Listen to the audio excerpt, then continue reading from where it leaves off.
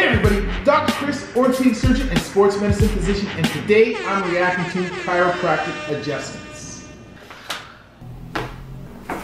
I never realized that chiropractic adjustments were such a big thing on YouTube. It seems that people watch just to hear the sound of the adjustments. All of the cracking and the popping must be satisfying to, well, it must be satisfying to somebody because people are watching it all the time. Anyway, a lot of people have asked me what I think about chiropractors. okay. They want to know if having a chiropractic adjustment and cracking your back is bad or not. So let's watch a few clips and we'll talk about it. So here's the first video. Let's check it out. And let it out gently and let your shoulders sink. Good. Breathe out. So obviously this chiropractor is taking advantage of the fact that people are interested in hearing the cracking because he's got a freaking mic set up. That's one point I want to make actually.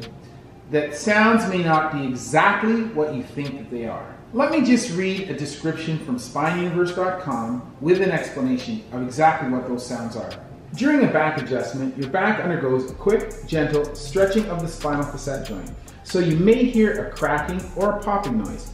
This is caused by small pockets of air or bubbles which are in the fluid that surrounds your joints.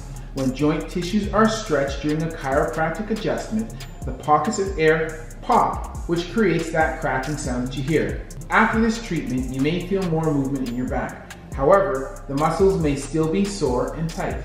And I would say that that's an accurate description of what's happening.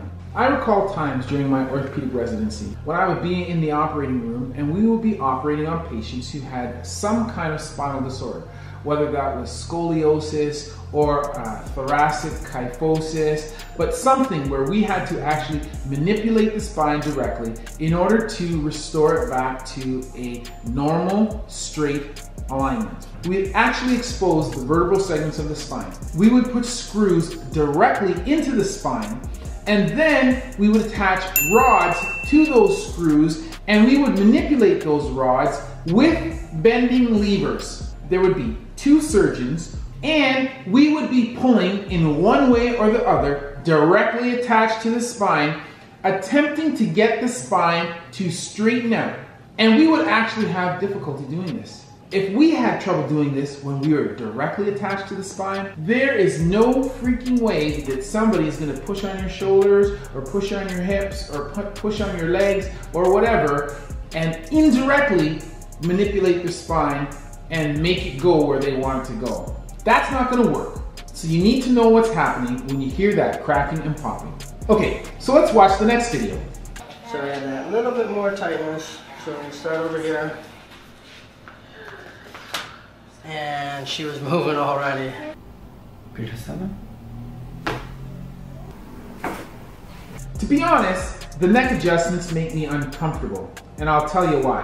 There are a lot of important structures that run through or around the neck, and chiropractic manipulation of the neck carries with it risk of injury to many of these delicate structures. When you choose to have any kind of medical treatment, you need to weigh the benefits versus the risks.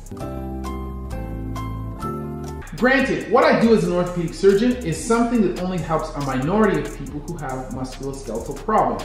What about those people that I or my colleagues in orthopedic surgery can't help? That's where other healthcare practitioners come in, like chiropractors, physiotherapists, athletic, and massage therapists. With me, for example, in very simplified terms, I cut you open and I screw you back together. But for someone who can't get to the inside of you, it's about softening tissues and building muscle and mobility in areas that are weak so that your problem can resolve. That's it. And that is not a wham bam, thank you ma'am, super quick kind of fix. Okay. Say that you have a very sore back. They may do some manual therapy like deep tissue massage and or they will help you stretch in ways you wouldn't do on your own to get to the affected muscles. Basically, they're helping to restore mobility, albeit temporarily, in tight areas and to short circuit any muscle spasms you are having in order to get the immediate and unbearable discomfort to cease. After that though, you must know that the muscles will tend to go back to the way they were. especially if you don't stop or at least modify the activity that is causing the problem in the first place. Ask yourself how much impact can an outside person have on your recovery if you only see them for a few times a week for, say, I don't know, 15 minutes, half an hour? You must do most of the work. A good chiropractor will also show you some movements or exercises that you can do on your own so that the thing that they have unstuck stays that way. It may take a few times for you to come back to work through the problem, but this should not be an ongoing process. One of the things that's a part of my practice is insurance assessments for motor vehicle accidents.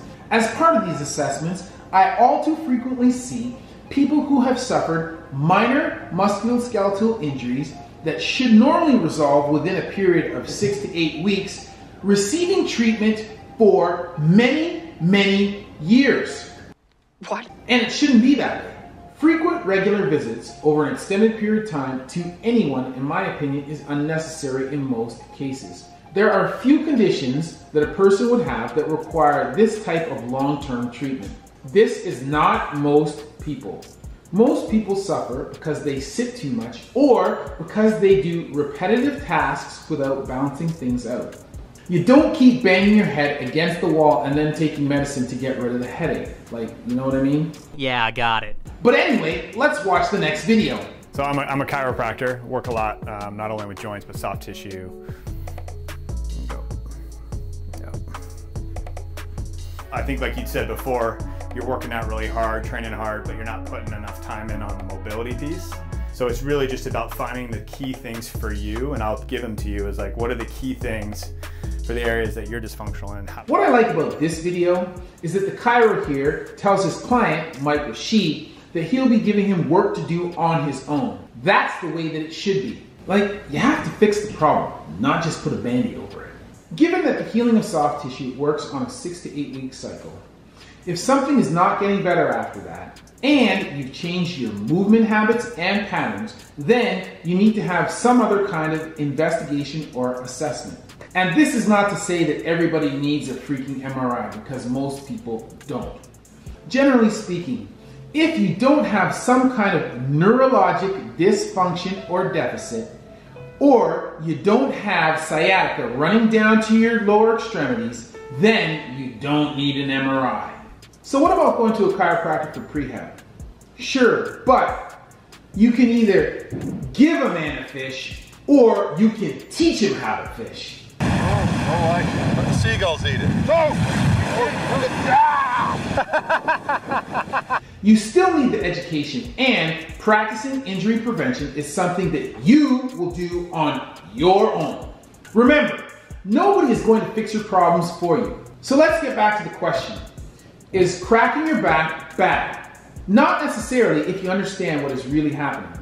The bigger question is, is it really necessary? It may not be necessary as often as some people would like to think. And what about the neck cracking? If it's risky and what they're doing to you is only going to give you temporary relief and you still need to modify your lifestyle choices and work on the imbalance through exercise yourself, then why not just leave out the neck cracking? That's just my opinion on that. If you choose not to do the work and you want to pay someone to give you relief on a regular basis that will only last a short time until you go back, then I guess that's your choice. But just so long as you're aware. Now, I'm an orthopedic surgeon. I'm in the business of fixing problems, not managing them if I can at all help it. For most people, their problems can be fixed whether they are operative or not. It's just that you may not like all the work or the lifestyle changes required to do the fixing. Remember, if you always do what you've always done, you'll always get the same result. And no amount of chiropractic work or physio or massage or anything like that is going to change it.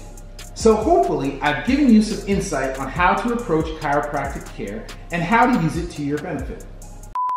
If you like this video, be sure to give it a big thumbs up. If you are new to the channel, be sure to subscribe and hit the notification bell. And as always, that's been a word from Dr. Chris, not your everyday ortho.